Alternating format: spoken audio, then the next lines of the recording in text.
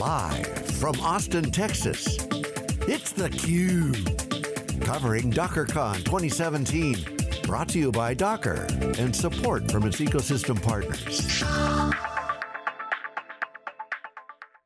Hi, I'm Stu Miniman here with the final wrap with Jim Kobielus at DockerCon 2017. theCUBE's really excited that we're here for the third year. Have to have a big shout out uh, to our partners and our sponsors that allow us to be here. Of course, Docker's been a great partnership. They talked a lot about ecosystem, uh, really bringing in some of the media people like ourselves, giving us some of the great speakers from their company, the partner ecosystem, and their customers. And the sponsors for the show uh, for ourselves, uh, AppLariat, Cisco, Iguazio, Scality, Canonical, and Red Hat. Uh, without them, we couldn't bring you this programming. Uh, really excited to be able to be here. Uh, and uh, they're starting to tear down uh, the, the, show here, so not a lot of time, so many things to talk the show to. Itself is containerized. We're not even going to be able to talk about the Franklin's barbecue, uh, but Jim, you just did. you know, absolutely. Um, Jim, you've gotten to you know be on the cube here, see some of the show. Uh, you know, give us your quick hits on sure. your takeaways from the show. First of all, my, my first takeaway is this is a vibrant developer ecosystem, clearly. This show is much larger than the year, year before and the year before that. It'll be probably twice as large next year. That's my prediction, based on the sheer amount of developers migrating into the Docker ecosystem because so many organizations are Dockerizing their applications, containerizing applications. That's a huge focus for me at Wikibon as an analyst, is the containerization of application development with microservices and all that for cloud deployment and multi-clouds, hot, hot, hot across all niches. So vibrant ecosystem. Docker as the core solution provider and the centerpiece of this community, amazing show. The Enterprise Edition, of course that preceded the announcement of that and the release, preceded this show. That's critically important in getting Docker into new accounts that uh, with a, you know, a full stack that's you know, clearly it's enterprise ready developers, more developers will be exposed to Docker through the EE. Docker, um, at this show, had a couple of really important announcements for developers. Moby, Project Moby for customization of, of container images and so forth. Uh, clearly, that's going to be a multiplier effect on the ecosystem of developers, ISVs and so forth, building applications and customizing uh, containerized Docker applications and images for a wide range of opportunities. Yeah, Jim, just want to comment on, on the Moby piece here, because it, it, was really interesting. I think the last couple of years, it's been that pull and tug as to what was the open source piece, what is the company itself doing, and I think it's clarifying. Uh, yeah. Kubernetes is, is a big rising tide uh, you know, in the environment, and all they cared about is they've got the open source pieces that they need to be able to do Kubernetes. Mm -hmm. So with Moby projects, like, okay, now I understand what's out in open, I understand what Docker's doing, uh, I saw some humility from Solomon Hykes, uh, you know, talking, it's like we're listening, we're working, you know, ecosystem, ecosystem, ecosystem. So it was good to see uh, that maturity. I mean, there were some people that, you know, I talked to and they're like, oh, will this be the last DockerCon? I'm like, I, I don't think anybody watching this show, uh, you know, would say that coming out. As you said, I expect the show to grow. It's doing really well. So Solomon you know, totally partner you know, focused. Kudos, look at kudos him, to know, what listen. they're they're doing, and the, the, yeah. the, partners are excited. It's not just lip service. Oh yeah, we did some little announcement on the side. It's, no, we're excited.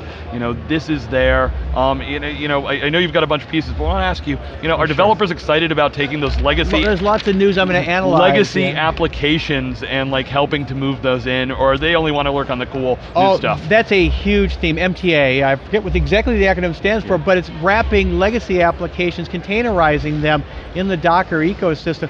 That is so important. So all of these legacy you know, applications um, will be Dockerized before long and refactored, in addition to all the greenfield development of containerized applications. So the MTA announcement, just as critical as the Moby announcement and so forth, in terms, and EE, uh, prior to the show, of getting Docker, getting their ecosystem, getting developers working in this environment, more and more developers.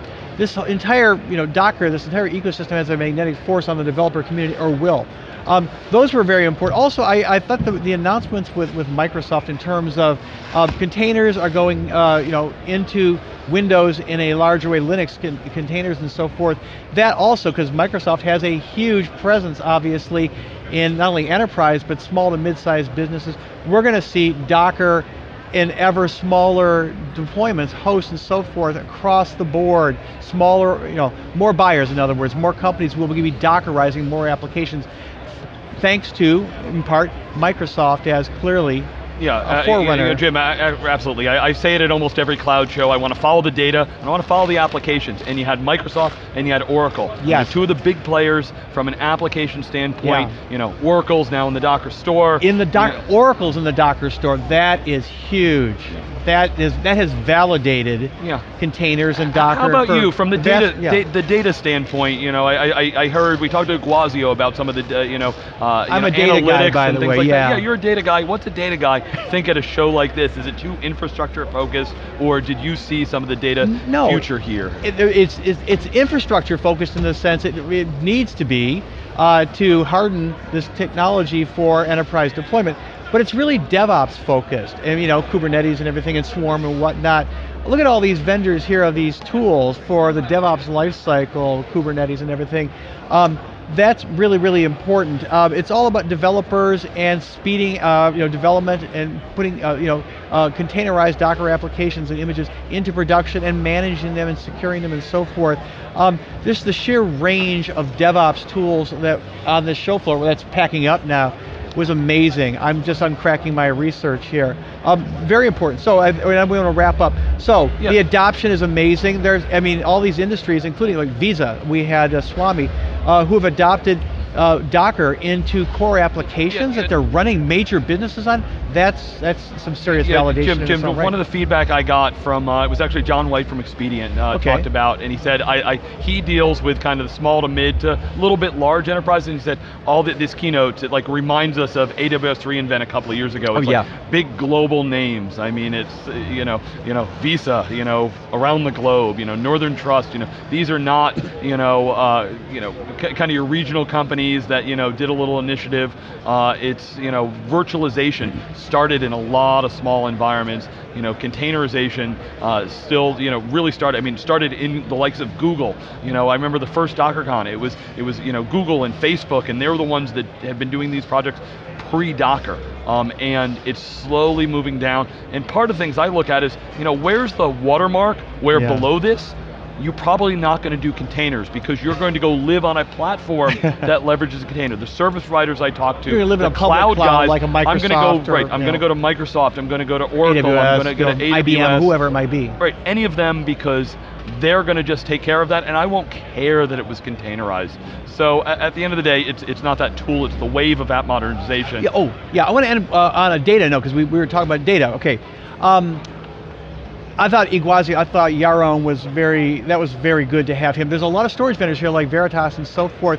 So storage, you know, um, in, a, in, a, in, a, in a Docker environment and persistent storage and data protection, critically important, but also containerizing the new wave of you know, applications that are machine learning and deep learning and artificial intelligence. Um, we got a, a, fair look at some of that uh, from Solomon yesterday because Solomon mentioned that the OpenAI consortium um, is, um, is based on their internal test bed training network on Docker, on Swarm and so forth. I, in my prior life, I just joined Wikibon a few weeks ago. I focused on data science, which is a key development theme, by the way. I'll focus on for, um, for, for Wikibon, um, I saw a lot of containerization. I saw a fair amount of Docker and a lot of the data science oriented app dev that was go, is going on in the business world. That's going to be a huge theme for me under Wikibon. But also, I mean, uh, Solomon sort of alluded to a lot, and so did um, uh, Yaron, a lot of the work that's going on in the AI community to Dockerize their application, TensorFlow and all that. Huge theme we'll probably see much more of at next year's DockerCon, I predict containerizing AI for well, deployment into autonomous vehicles and whatever. Jim, uh, you know, you've long been a Cube alum, but now you are a veteran of doing the Cube. But really appreciate I'm on this you side of the table coming now. on. It's amazing. Uh, Want to give a shout out, you know, to the whole team here. Uh, you know, John Furrier, I know, was you know really disappointed. He loves this show. Usually, my co-host a lot of these open source shows. So, John, you better be down here in Austin for KubeCon uh, at the end of the year with me. Uh, you know, so many shows, kind of now uh, through like July 4th. The Cube has so many activities go, going on. If you go to thecube.net, you can see all of our upcoming shows. Always watch us live. If we're not at a show that you think we should be at, you know, go ahead and ping us, reach out to us Twitter or through the website. Jim's research, a lot of it's going to be on wikibon.com. Siliconangle.com is also where we have some research corner, uh, some of the other pieces there. So check out the whole SiliconANGLE media uh, for Jim, myself, Ava, Leonard, Brendan, Jay, Sam, who's already you know heading to the airport. Thank you so much for watching theCUBE. Hope to see you at lots of shows coming around, and uh, thank you for sharing.